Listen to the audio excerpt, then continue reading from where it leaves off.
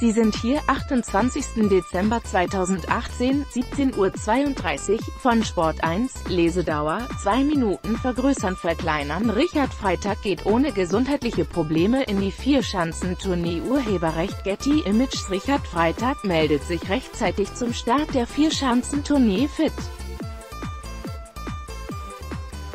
Nach einem Sturz musste er einige Wochen pausieren. Richard Freitag hat sich vor der 67. Vierschanzentournee als voll einsatzfähig zurückgemeldet.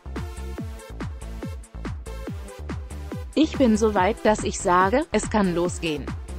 Die Verletzung hat sich gut gelegt mit der Physiotherapie, sagte der Sachse am Freitag in Oberstdorf und kündigte an, von Platz 50 bis vorne rein ist alles möglich. Freitag hatte nach einem Sturz in Nischni-Tagil und einer verpatzten Landung zwei Wochen später in Engelberg über Schmerzen in der Hüfte geklagt, die er sich bei der Tournee 2017 18. in Innsbruck lediert hatte.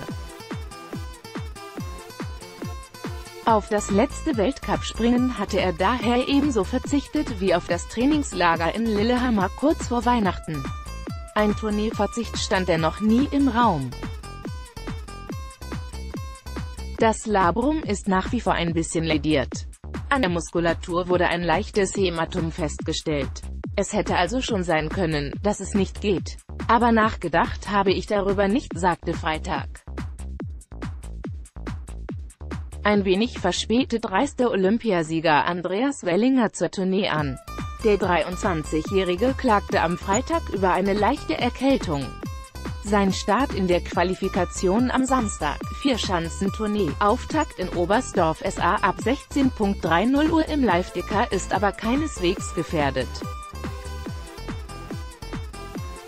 Sport 1 ist die Nummer eine Plattform, wenn es um Live-Sport geht.